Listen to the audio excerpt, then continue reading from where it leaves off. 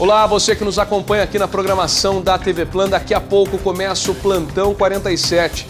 E você vai ver que a Polícia Militar realizou mais uma operação Perturbação do Sossego no bairro Florença, na madrugada deste domingo. Veículos foram apreendidos e diversos participantes conduzidos à delegacia da Polícia Civil. Homem de 40 anos é morto a facadas em Santa Rita de Caldas. A Polícia Militar segue na procura pelo autor do crime. E ainda, motorista perde o controle direcional do veículo e cai em um barranco na BR-267, no trevo de acesso a Campestre, na madrugada desta segunda-feira.